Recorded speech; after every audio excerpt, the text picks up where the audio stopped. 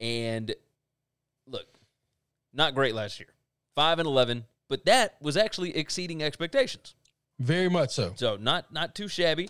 Their win total this year is 6, and to go over it is juiced at minus 135. To go under is plus 115. So they expect some more good things from Brian Flores in this team. Brian Flores entering his second season. And look, they they sold the farm last year. I mean, they just got rid of everybody that was any good other than other than DeVante Parker. Um, to win the division, they are plus 825. So we're not quite to that point just yet. And it, it may still be a few years before they get to that. Going through some of the numbers, offensive yards per play, 4.9. That was number 29 in the league. Defensive yards per play, uh, 6.0. That was number 30 in the league. Turnover margin, they gave up the ball 0.6 times per game. That was number 27. And you look at these numbers and you're like, how in the world did they win five games last year? I mean, it was unbelievable. Now, early in the season, they were dreadful and they got better. They absolutely got better. This Here, is why you have to throw some of those stats out the window. Some of the stats yeah. don't matter because the team at the end of the season weren't wasn't close to that that team that was playing so badly at the beginning. Agreed.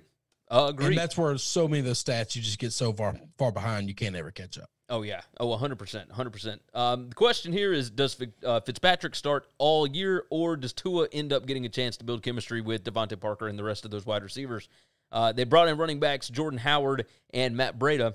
Um, they made Cowboys cornerback Byron Jones the highest paid cornerback in the NFL, gave him a five year, $82 million deal, which is absurd. Uh, and then they brought in linebacker Kyle Van Noy. And, you know, from the Pats, and I, am going to I'm gonna give you a stat that you may not have known. Uh, Kyle is 29 years old. And you and I think of that as a young man, right?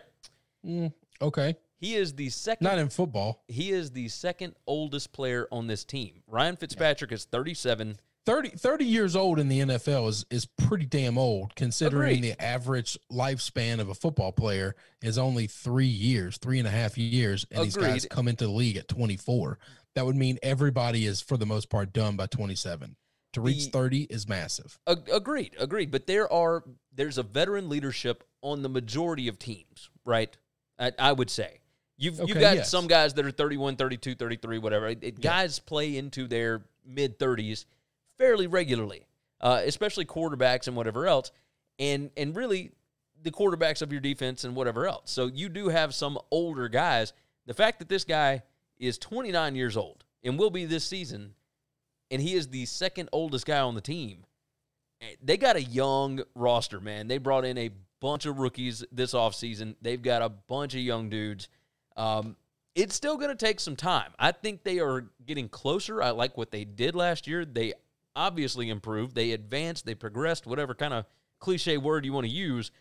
I think they are a, a decently good football team. They just don't have all of the pieces put together just yet. I've got them at seven and nine.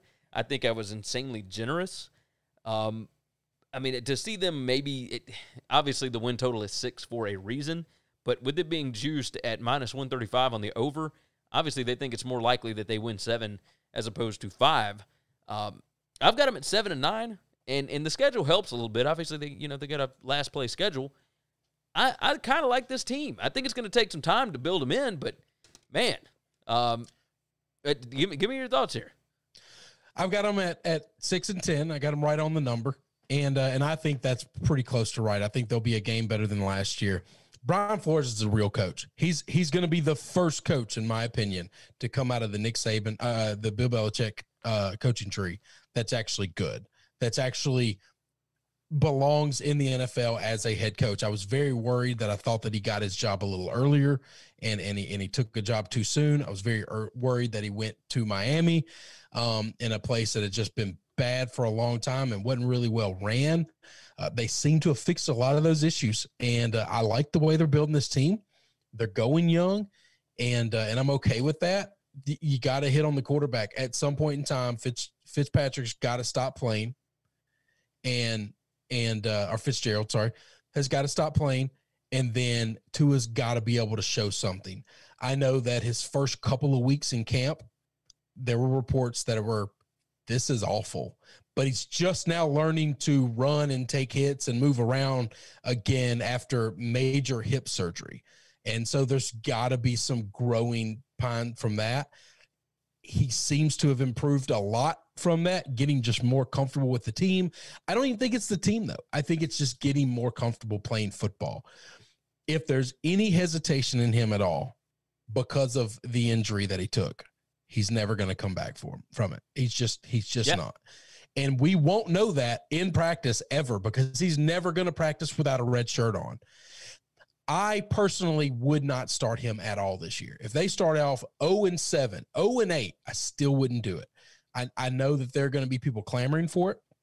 I know that there's going to be an ownership that's probably clamoring for it, but I would stay the course and say, let's give him an entire year to learn the NFL, practice against real NFL defenses that we're practicing in in, in camp and on our, on our own team every week. Hold the clipboard. It's not a knowledge thing. It's not a learning the throws thing. He just has to be comfortable because if he goes out there on Sundays and he's not ready, it's not the hip that's going to re get hurt. But guys that play timid get hurt constantly. Oh and yeah, it's the You're next right. injury. It's the ACL getting blown out, or it's falling on the shoulder wrong. It's there's a million things that can happen to your body when you are afraid, um, and and I I think that's the worst thing that could happen to him. So I, I agree. I agree. Now their their success in the future is hundred percent tied to him. Um, so at some point in time next year, they got to put up, shut up. They got to know is he the guy or not because you can't you can't waste three, four years on him. His whole rookie deal is done, and you still don't know. So I definitely think by next year, there's no other plan B. You don't bring anybody else in. You just bring nothing but capable backups, and they have to understand the role. You don't need anybody pushing him. Because if next year doesn't work, you basically have quote unquote from a front office level tanked for three years. And in the NFL, you've basically tanked players' entire career. Yeah. No, you're you right. You can't do that. Uh, Matt Miller on YouTube uh, said, doing the two worst divisions of football today, I see. Uh, and then Matt Miller said, Tua will never have as good of a receiving corps in the NFL as he did at Alabama. That will take time or to get used to as line. well. Yeah, or running game.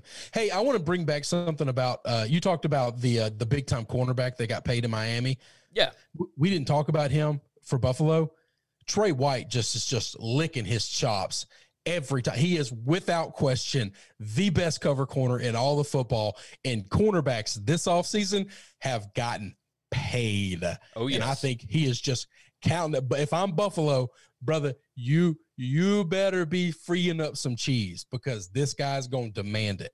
And he he has every right to because he is worlds better than these other guys getting paid. I, I think worlds you are better than them. I think you're 100 percent right. The, the fact that Byron Jones has an 82 million dollar contract Trey, Trey, Trey's gonna walk in and say, "Double it." and he'd be worth I'm it. Gonna need, I'm gonna need it doubled right now. He would absolutely be worth it. Uh, I think he's worth it. Ben jumps in on uh, on Twitch. He said he could become a Sam Bradford if uh, the Dolphins aren't careful. He talked about Tua. Yeah. Um, and yeah. then Matt said uh, Miami might have the best cornerback duo though with Xavier Howard and Byron Jones. Uh, maybe. Ooh, I don't know. Mm. I think the boys. I, I, I like Buffalo. New England gonna have something to say about that. Yeah. Buffalo's gonna have something. This division's gonna have something to say about the cornerbacks. The two good teams are gonna have something to say about the secondary being better than everybody else. Yeah, you you got that right. You got that right. All right. With that said, why don't we go ahead and hop into your boys? Let's let's discuss. Let's go up to uh, the Northeast here and let's talk about